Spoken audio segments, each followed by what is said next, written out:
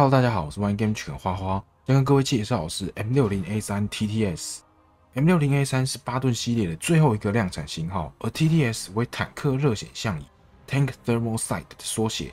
在所有使用105毫米主炮的美系车中，除了 IPM-1 和银币版的 M128 装备500毫米穿身的 M9 版，还有 CCVL 装备395毫米穿身的 M833 外，其余包含先前介绍过的 M1 艾布兰和这次的主角 M60A3 TTS，都是装备372毫米穿身的 M774 APFSDS。M774 在现阶段10.3的艾布兰身上略显不足，但面对9.0左右的对手，穿透力已经十分足够。至此，这台车的长板已经介绍完了，接下来就来跟各位分享这台车的短板。现在说说影响比较没有那么大的防御能力部分。毕竟 M60 是一九二零年代就推出的坦克，到了一九七八年开始量产 M60A3 时，装甲防护早已过时。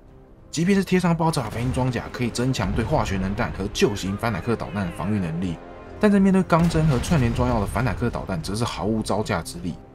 某些穿身更高、没有使用串联装药的新型反坦克导弹，甚至可以暴力硬解你的 ERA。在一九六年代出产的 M 六零就把弹药放在后脑勺的设计很不错，但是装填手脚边可容纳十发炮弹的第一优先弹药架，一直是美国从六点三以来最大的弱点，激热程度堪比苏联的转盘火箭推进器。不过自 ABFSDS 和 HeatFS 出现以来，同一件衣服穿再多，其实也跟裸奔没有两样。最后是对你的游戏体验影响最剧烈的机动能力。最大速度其实不是一个很值得参考的数据，你更应该参考是藏在发动机输出和车体重量之间所算出的推力比。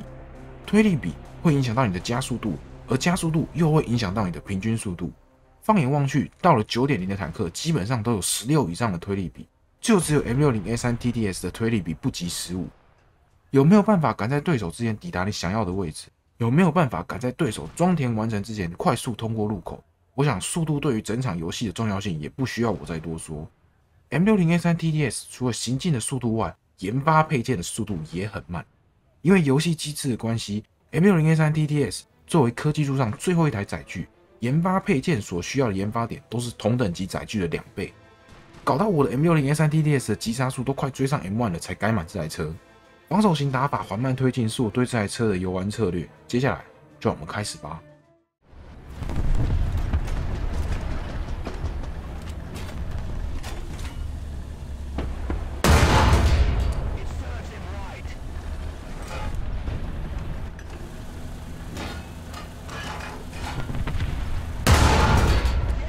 Run.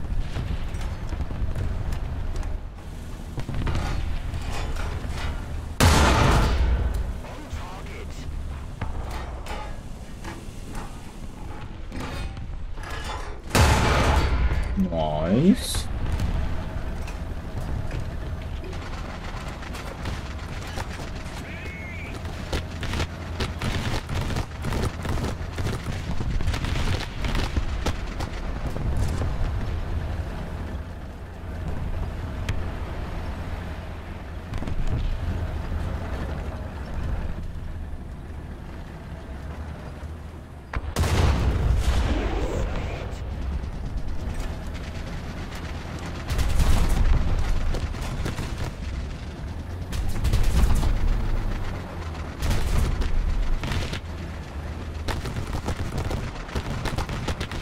no worse it.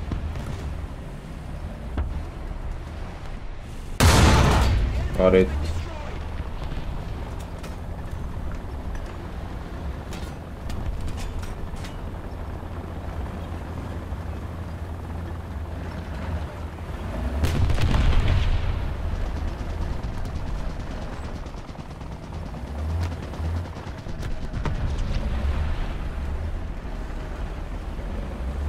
他如果没有转他的炮塔，我可能不会发现他了。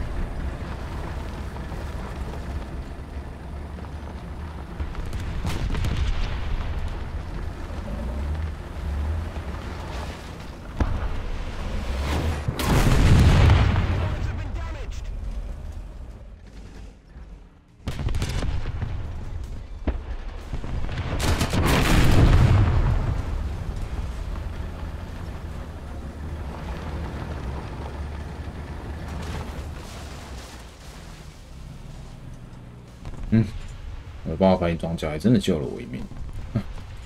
That's very good.